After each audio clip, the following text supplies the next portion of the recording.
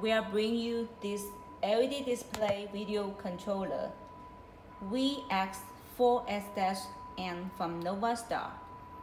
Let's take a look at the front panel. This is the power button and TFT display. It shows the device status and setting. And this is the knob to control the main menu and the back key here. In this section, there are four shortcut buttons.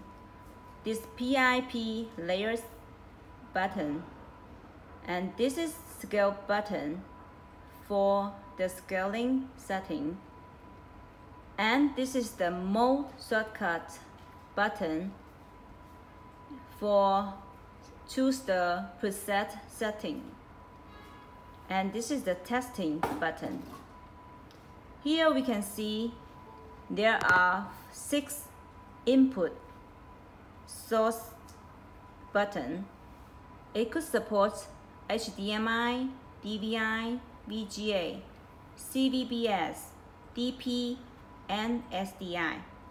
Use these six buttons, you could just switch the signals easily. In this group, there are two buttons. These take buttons can help you to switch the PVW to PGM seamlessly.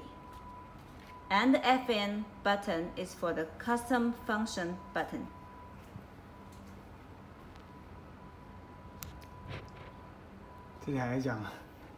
Let's take a look at the TFT, the main menu of the machine. Well, it can adjust the brightness of the LED display.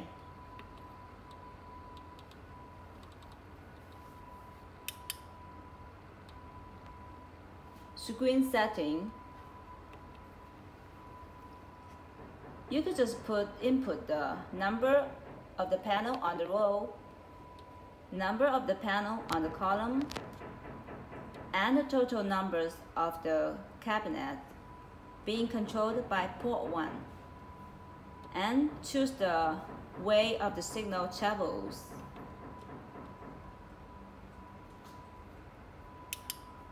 Back to the main menu. You could set up the input source.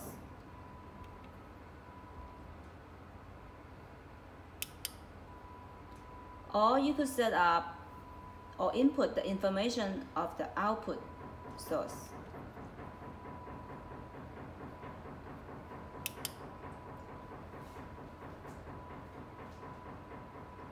It supports image mosaic.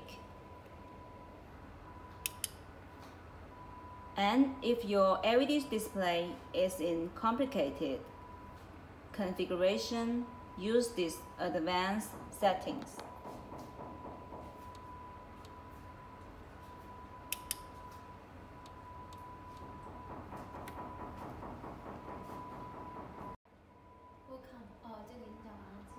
Let's take a look at the rear panel of the device. Here are four Ethernet output for signal going into the LED display. And this is the DVI output for the monitor. And this area are the signal input. It supports one CVBS input one DVI input and this is DVI loop output. It also supports VGA input and one SDI input and one SDI loop output. In addition, it supports HDMI input and one DP input. Also, it supports audio input. This is an Ethernet port for the controlling computer. And these two USB ports are for the connection to the computer as well.